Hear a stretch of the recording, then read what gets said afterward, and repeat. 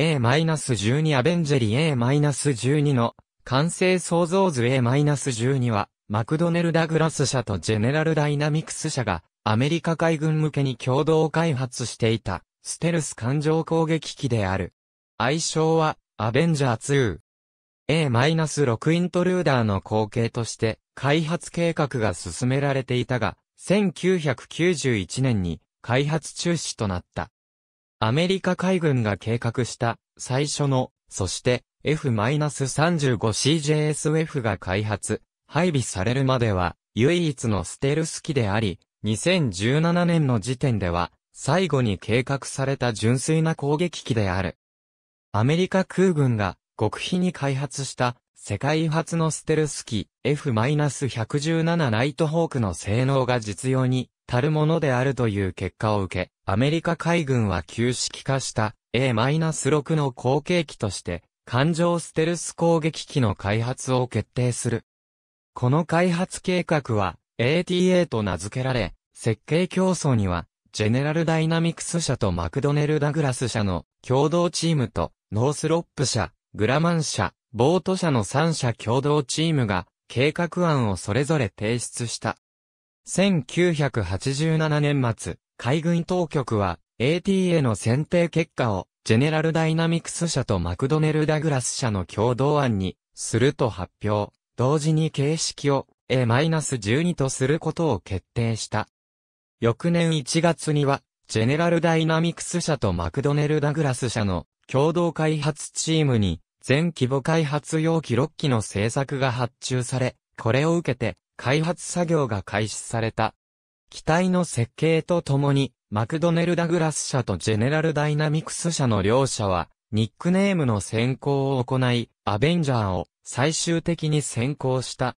もともと、アベンジャーとは、グラマン社が第二次世界大戦中に開発した艦上攻撃機である TBF、TBM のニックネームであったが、2社はこれにこだわった。理由は、当時のアメリカ合衆国大統領、ジョージ H.W. ブッシュが第二次世界大戦中に TBM アベンジャーに登場し、硫黄島の戦いなどに参加した経歴があったためで、ある。グラマン社は自社の歴史的名機の名前を他社の開発した機体に用いられることに難色を示したが、海軍当局の要請もあって、最終的には許諾した。ATA の要求水準は非常に高いものであったため、機体構造へ用いる複合材料の開発や、合成開口レーダーを筆頭とする、電子装備の開発が難航し、コストの上昇が決定的であることが開発を担当した2社からアメリカ海軍に通告された。さらに、複合材料の機体設計では、環状機としての要求強度を満たせないことが判明し、軽量性の低い金属材料へと材質が変更された。これにより、機体重量の約30%の増加と、さらなるコストの増大をもたらすことになり、当初のままの開発期間内に予定されていた予算規模で開発を行うことは、両社が危機的状況に陥る可能性が高いとの見解を伝えた。これに対し、アメリカ海軍は、極秘とされていた ATA のアウトラインを意図的にリークし、計画案に基づき制作されたモデルの写真を発表して、広報効果による予算の確保を目指した。計画中止の直前に、アメリカ国防総省が発表した完成予想図しかし、冷戦後の世界的軍縮の流れの中では、意図したほどの支持は得られず、アメリカ国防総省は海軍向け620機と海兵隊向け230機余りに加え、アメリカ空軍にも約400機の ATA を配備して、三軍統合の次期主力攻撃機とする計画を立案したが、この計画案に基づいて、空軍向けの使用を盛り込んだことは、機体の総重量をさらに増加させた上に、海軍型としての発展余裕を失わせてしまい、海軍型 ATA の完成すら流動的となったため、計画は2点3点した。すでに投資されている47億ドルという開発経費はこの時点で当初の予定額を10億ドル以上も上回っており、1機あたりの生産コストも9500万ドルを超えることが確実となった。さらに、このまま順調に開発が進んだとしても初飛行は1年以上遅延することが判明し、さらなるコストの上昇は避けられない状況にあった。1991年1月、チェーニー国防長官は ATA の全面中止を発表した。ATA 計画の中止の責任を取り、海軍の上級将校4人が責任を問われる形で、退役に追い込まれた。また、計画の中止とそれに伴う、受注の消滅、さらに口述の国費返還請求訴訟の費用は、マクドネル・ダグラス社の経営を悪化させ、ボーイング社に吸収合併される原因の一つとなった。代替案として計画されていた A-6 の近代化回収型計画も予算問題で試作機のみに終わったため、アメリカ海軍、海兵隊向けの次期艦上攻撃機としては、戦闘機と攻撃機双方の任務を兼用できる多用途任務機である。F、A-18 の拡大発展型である。F、A-18E、F が開発され、実戦配備された。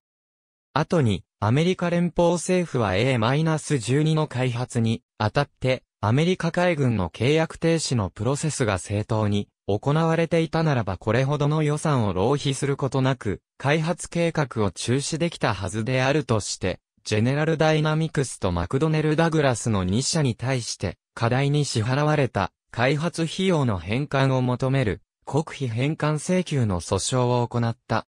裁判の結果、アメリカ海軍による契約停止プロセスは正当に行われていたと認められたものの、2009年6月2日、連邦巡回区控訴裁判所は2社に対して13億5000万ドルと、契約解消となった1991年以降の延滞利息の支払いを命じる判決を言い渡した。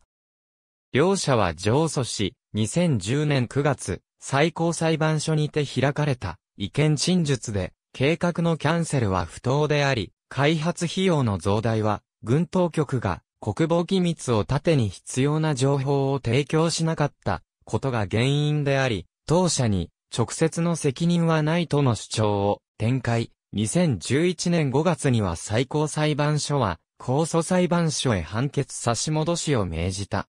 最終的には2014年5月にジェネラルダイナミクスとマクドネル・ダグラスを吸収合併したボーイング社の両社が2億ドルずつ、計4億ドルを返還することで合意した。結果的に A-12 の開発は、莫大な予算を浪費しただけに終わってしまい、一機の試作機も完成することなく、計画は中止された。また、三軍統合という形で航空機の開発計画を進めることは計画の失敗と予算の浪費を生むだけであるという F-111 で味わったはずの経験を重ねることとなった。しかし、A-12 の開発にあたって、複合材料による機体構造や小型機、はじめ合成開口レーダー等の各種の新型電子機器、何よりも海軍発のステルス艦上機の開発といった各種の技術開発の経験を得たことは、後に JSF の開発にあたって大いに活かされることになり、ATA 計画はアメリカの軍用機開発上の大きな資産となったとの評価もある。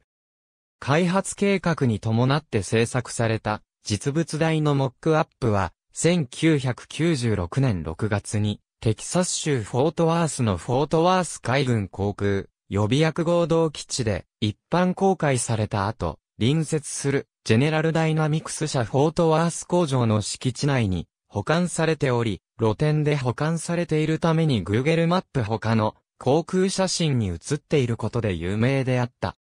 2011年にはキャノピーのみがイベに売りに出され、2012年まで出品されていた。2013年6月、このモックアップは、フォートワースの北東区域にあるフォートワースミーチャ、無国際空港に隣接する、退役軍人記念航空公園に移され、以後はこの博物館の展示品となっている。このほか、開発時に検討用に制作された縮小模型がテキサス州ダラスにある最先端航空博物館に収蔵、展示されている。最先端航空博物館に展示されている A-12 の模型 F-14 及び A-6 との比較図 A-12 は正式番号が与えられて公式のニックネームも決定していたが試作機の製作以前に開発が中止されたため実機は製作されていない。アメリカ海軍当局が公表した各種資料と実物大のモックアップによれば A-12 は B-2 でも実現できなかった完全なデルタ形状の全翼機で開発現場では空飛ぶドリトスというニックネームもあった。並走をはじめすべての装備を機体内に収納する方式のステルス機であり、中列複座配置のコックピットを有していた。また、翼は中央部から上型に折りたたみが可能で、全翼配置としたために、機体全長は既存の関西機に比べはるかに短いものとなるとしていた。A-12 予想図。ありがとうございます。